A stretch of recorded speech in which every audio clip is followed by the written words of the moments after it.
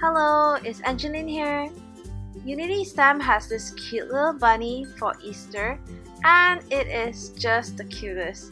I've already stamped and colored it with my Copics I'm grabbing a piece of pattern paper which I've die cut using this Gina Marie die scallop circle and I'm just placing the bunny on my card and just making sure it peeks in the right places and then once I'm certain I'm just adhering it down and for my pattern paper I'm just popping it up with some foam adhesive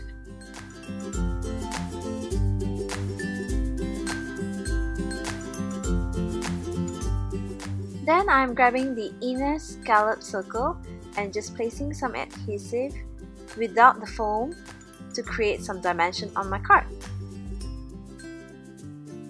Then I'm grabbing the Easter sentiment and just cutting some flag at both ends and I'm done. So here's my finished card. Hope you enjoyed this cool little technique and do try it out for yourself. Thanks for watching. Bye.